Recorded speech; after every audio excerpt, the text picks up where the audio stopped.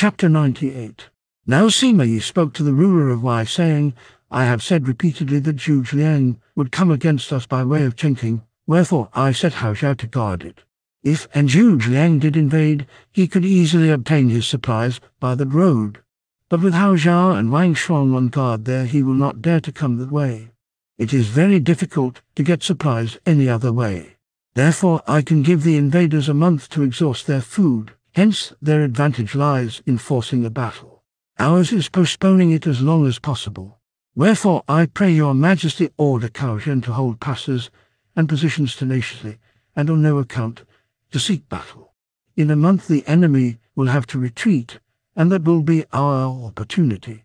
Cao was pleased to hear so succinct a statement, but he said, Since, noble sir, you foresaw all this so plainly, why did you not lead an army to prevent it? It is not because I grudge the effort, but I had to keep the army here to guard against Lu Xun of Wu. Sun Quan will declare himself emperor before long. If he does, he will be afraid of your majesty's attack, and so he will try to invade us first. I shall be ready to defend our frontier. The army is prepared. Just then one of the courtiers announced dispatches from Cao Zhen on military affairs, and Sima closed his speech, saying, your Majesty should send someone especially to caution the commander to be careful, not to be tricked by Zhuge Liang, not to pursue rashly, and never to penetrate deeply into the enemy country. The ruler of Wei gave the order, and he sent the command by the hand of Minister Han Zhai, and gave him authority to warn Cao Zhen against giving battle. Sima Yi escorted the royal messenger out of the city, and at parting said, I am giving this magnificent opportunity to obtain glory to Cao Zhen but do not tell him the suggestion was mine. Only quote the royal command. Tell him that defence is the best, pursuit is to be most cautious, and he is not to send any impetuous leader to follow up the enemy. Han Jai agreed and took leave.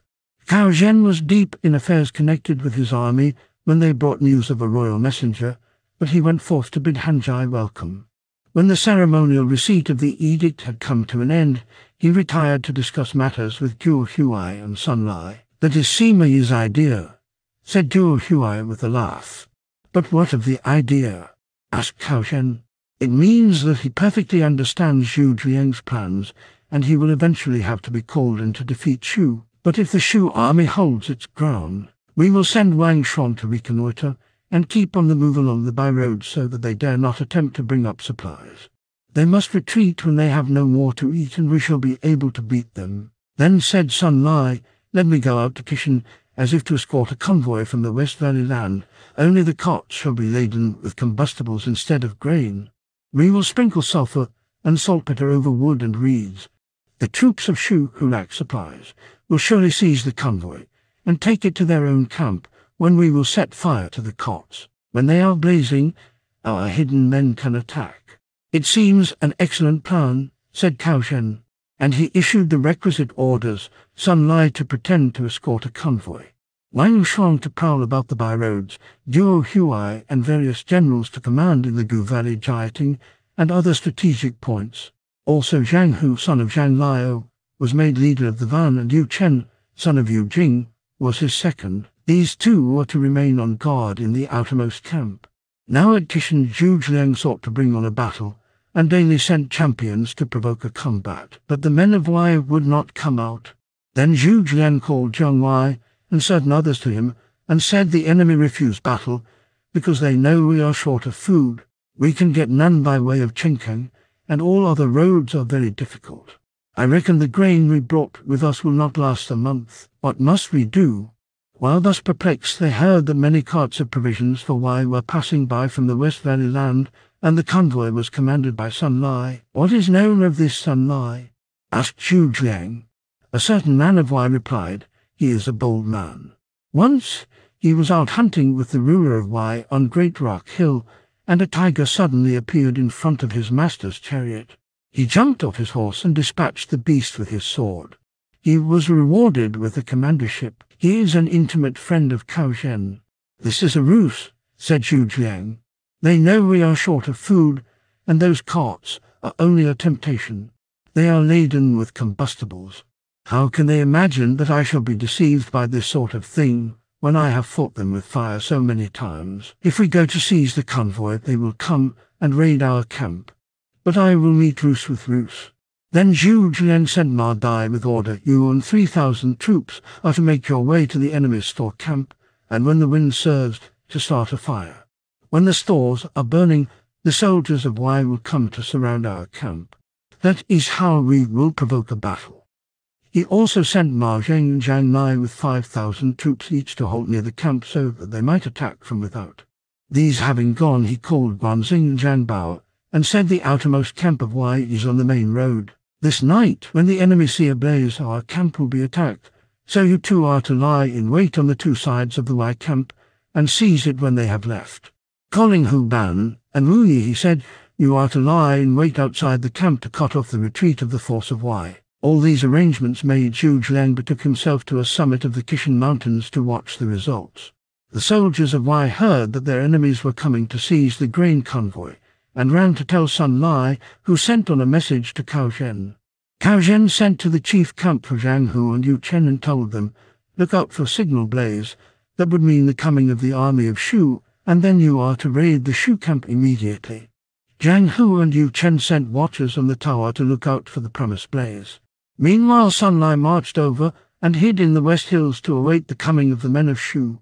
The night, at the second watch, Ma Dai came with his three thousand troops all silent, the soldiers with gags, the horses with a lashing round their muzzles.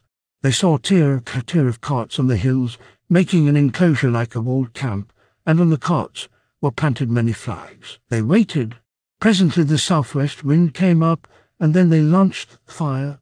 Soon all the cots were in a blaze that lit up the sky.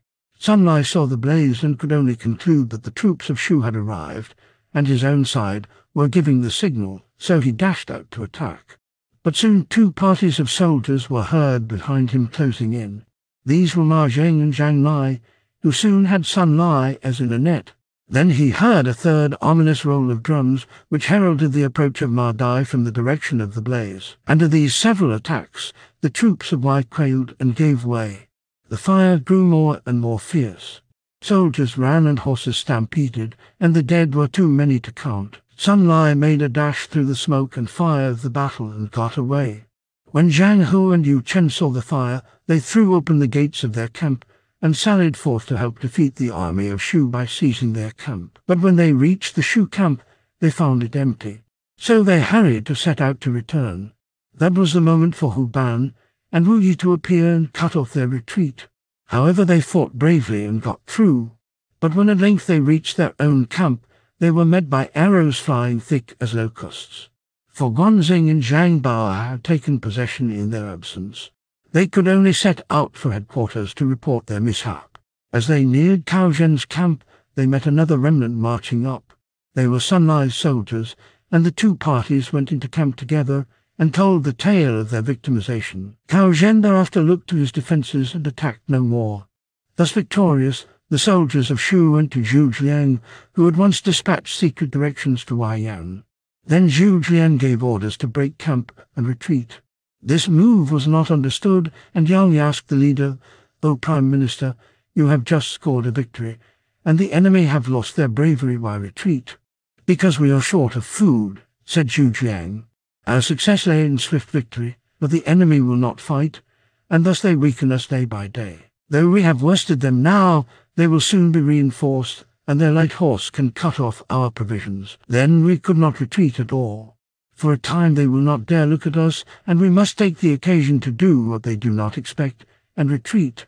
But I am solicitous about Wei Yan, who is on the Chencang road to keep off Wang Shuang. I fear he cannot get away. So I have sent him certain orders to say Wang Shuang, and then the force of Wei will not dare to pursue. Therefore the retreat began, but to deceive the enemy the watchmen were left in the empty camp to beat the watchers through the night. Cao Zhen was depressed at his recent misfortune. Then they told him Zhang He, general of the left army, had come. Zhang He came up to the gate, dismounted, and entered. When he saw Cao Zhen, he said, I have received a royal command to come and to be into your arrangements. Did you take leave of friend Sima Yi? asked Cao Zhen. Zhang He said he said to me that if you won the field the Shu army would stay, but if you did not, the Shu army would retreat. It seems that our side has missed success. Have you since found out what the troops of Shu are doing? Not yet. So Cao Zhen sent out some scouts and they found empty camps. There were flags flying, but the army had been gone two days. Cao Zhen was disgusted. When Wei Yan received his secret orders, he broke up camp the night and hastened toward Hanzhong. Wang Shuang's scouts heard this and told their chief, who hurried in pursuit. After about seven miles, he came in sight of Wei Yan's ensigns. As soon as Wang Shuang got within hailing distance, he shouted, Do not flee, Wei Yan. But no one looked back, so he again pressed forward. Then he heard one of his guards behind him shouting, There is a blaze in the camp outside the city wall. I think it is some wile of the enemy. Wang Shuang pulled up and turning saw the fire. He therefore tried to draw off his troops. Just as he passed a hill, a horseman suddenly came out of a wood. Here is Wei Yan, shouted the horseman. Wang Shuang was too startled to defend himself and fell at the first stroke of Wei Yan's blade. Wang Shuang's troops thought this was only the beginning of an ambush and serious attack, so they scattered. But really Wei Yan only had thirty men with him, and they moved off leisurely toward Hanzhong. No man could better Zhuge Liang's foresight keen, brilliant as a comet where it flashed. Back and forth will his soldiers dashed and Wang Shuang's dead body marked where they had been. The secret order sent to Wei Yan was that he was to keep back thirty men and hide beside Wang Shuang's camp till the warrior left. Then the camp was to be set on fire. After that the thirty were to wait till Wang Shuang's return to fall upon him. The plan being successfully carried out, Wei Yan followed the retreating army into Hanzhong and handed over his command. The Shu army having retreated safely to Hanzhong, feastings were held in celebration of the event. Zhang He, who failing to come up with the retiring enemy, presently returned to camp. Hao Zhao sent a letter to say that Wang Shuang had met his end. This loss caused Cao Zhen deep grief, so that he became ill and had to return to Luoyang. He left Zhang He Sun Lai and Guo Huai to guard the approaches to Chang'an. Meanwhile in the Southland, at a court held by Sun Quan, the Prince of Wu, a certain spy reported Prime Minister Zhuge Liang has invaded Wei twice, and Commander-in-Chief Cao Zhen has suffered great losses. Thereupon his ministers urged on Sun Quan that he should attack Wei and try to gain the Middle Land. However, Sun Quan could not make up his mind, and Zhang Zhao endeavored to prove to him that his hour was come by this memorial. I have heard that a phoenix has lately appeared in the hills east of Wuching and Baog that a yellow dragon has been seen in the great river. My lord, your virtue matches that of Kings Yu and Tang, and your understanding is on a level with that of Kings Wen and Wu. Wherefore you should now proceed to the imperial style, and then raise an army to maintain your authority. And many other officers supported Zhang Zhao's proposal. They finally persuaded Sun Quan to decide upon the Tiger Day in the fourth month, in summer.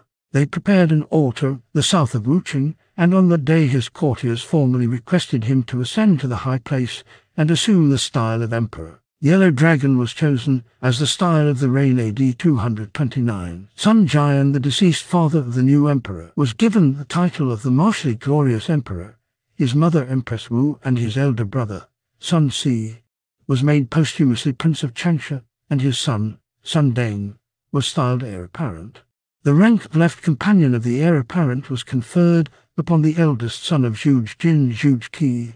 The rank of right companion of the heir apparent was bestowed upon the second son of Zhang Zhao, Zhang Zai. This son of Zhu Jin was a person seven span height, very clever, and especially apt at capping verses. Sun Quan liked him much. When Zhu Qi was six, he went with his father to a banquet. Sun Quan noticed that Zhu Jin had a long face, so he bade a man lead in a donkey, and he wrote on it with chalk, my friend Zhu Jin. Everyone roared with laughter. But the youngster ran up and added a few strokes, making it read my friend Zhu Jin's donkey. The guests were astonished at his ready wit and praised him. Sun Quan was also pleased and made him a present of the donkey. Another day, at a large official banquet, Sun Quan sent the boy with a goblet of wine to each courtier. When he came to Zhang Zhao, the old man declined it, saying, This is not the proper treatment for old age. Can you not make him drink? said Sun Quan. Then said Zhu Qi to the old gentleman, You remember Lu Wang? He was ninety, and yet gripped the signalling flags and wielded the axes of an army commander in the field. He never spoke of age. Nowadays in battle we put seniors behind, but at the banquet board we give them a front place. How can you say we do not treat old age properly? Zhang Zhao had no reply ready, and so had to drink. This sort of precocity endeared the boy to Sun Quan, and now Sun Quan made him the left companion to the heir apparent. Zhang Zhao's son Zhang Zai was chosen for honour on account of the eminent services of his father, whose rank was only below that of prince. Then Gu Yong became prime minister and Lu Xun regent marshal. And Lu Xun assisted the heir apparent in the custody of Wu Qing. Sun Quan himself returned to Jianye.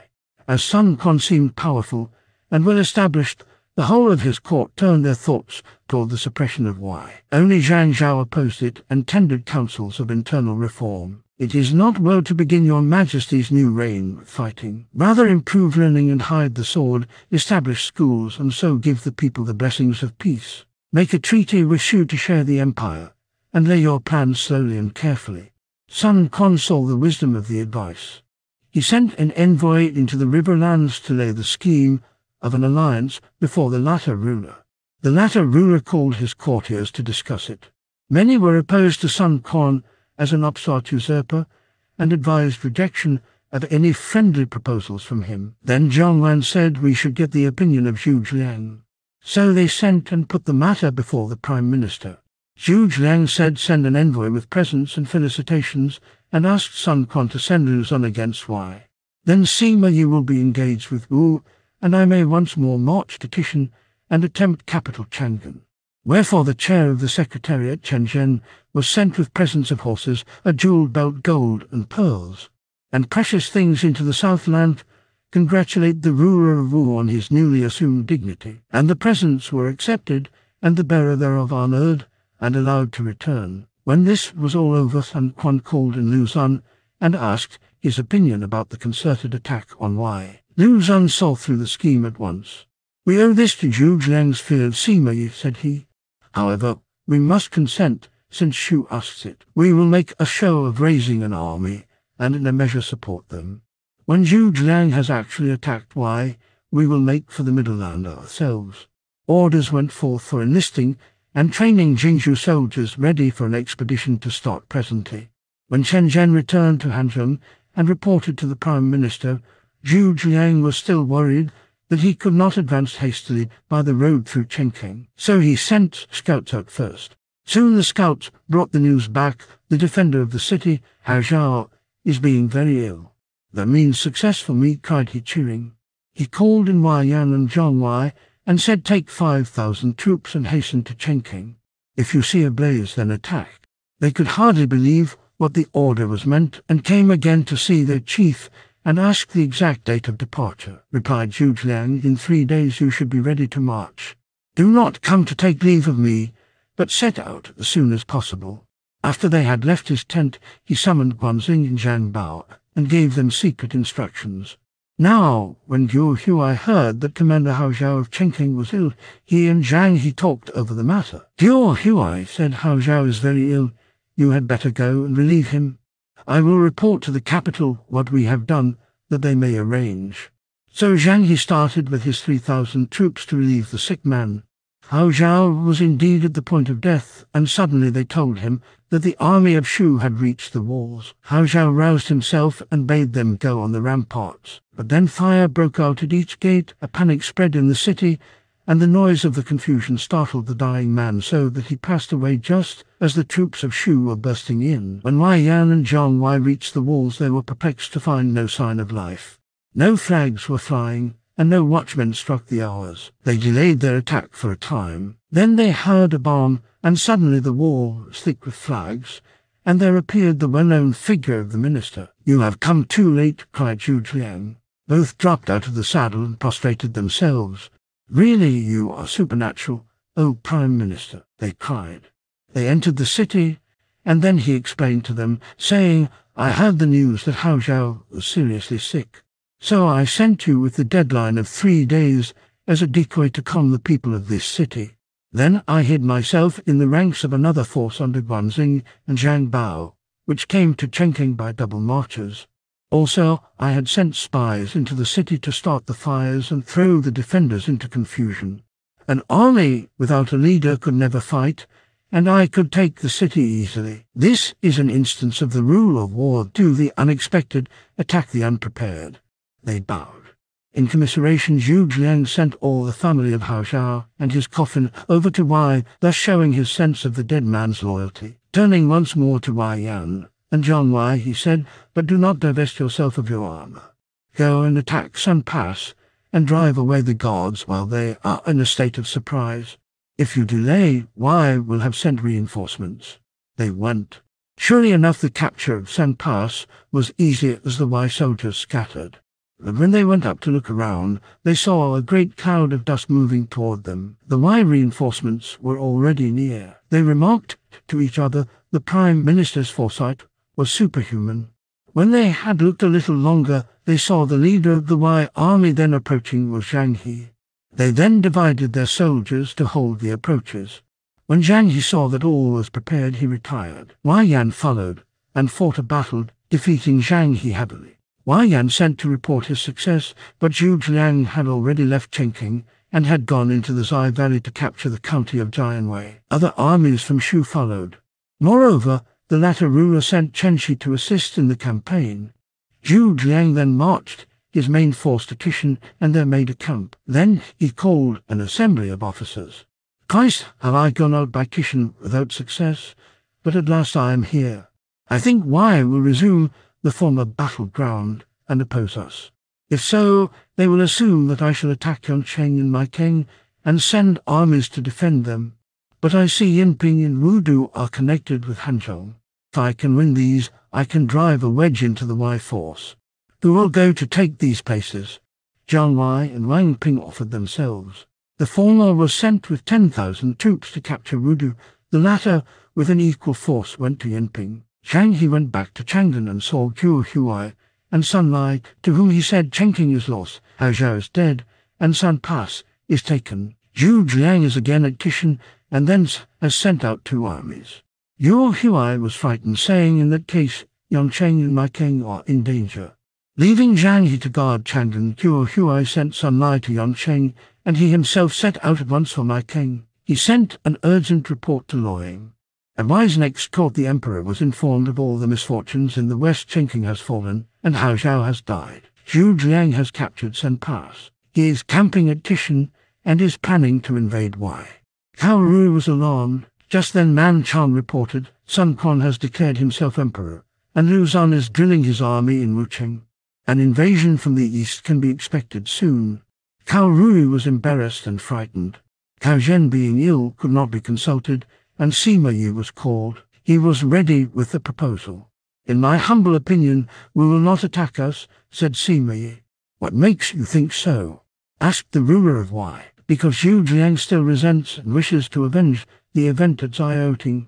He never ceases to desire to absorb Wu. His only fear is that we may swoop down upon Shu. That is why there is an alliance with Wu. Liu Zhan knows it also quite well and he is only making a show of raising an army as they arranged. The truth is he is sitting on the fence. Hence your majesty may disregard the menace on the east and only protect yourself against Shu. Your insight is very profound, said the ruler of Wei. Sima Yi was created commander-in-chief of all the forces in the west and the ruler of Wei directed a courtier to go to Cao Zhen for the seal. I would rather go myself, said Sima Yi. So Sima Yi left the audience and went to the palace of Cao Zhen, where presently he saw the invalid. First he asked after his health and then gradually opened his errand. Shu and Wu have made an alliance to invade Wei and share its domains and Zhuge Liang is at Qishan the third time. Have you heard, illustrious sir? My people have kept back all news as I knew, said he startled. But if this is true, the country is in danger. Why have they not made you commander-in-chief to stop this invasion? I am unequal to the post, said Sima Yi. Bring the seal and give it to him, said Cao Zhen to his attendants. You are anxious on my account. Really I am only come to lend you an arm. I dare not accept the seal. Cao Zhen started up, saying, If you do not take it, I shall have to go to see the emperor, ill as I am. The Middle Land is in danger. Really the emperor has already shown his kindness, but I dare not accept his offer. If you have been appointed, then Shu will be driven off. Thrice Sima declined the seal, but eventually he received it into his hands, as he knew Cao Zhen was sincere. Then he took leave of the ruler of Wei and marched to Chang'an. The seal of office changes hands. Two armies now one force become. Yi's success or failure will be told in the next chapter.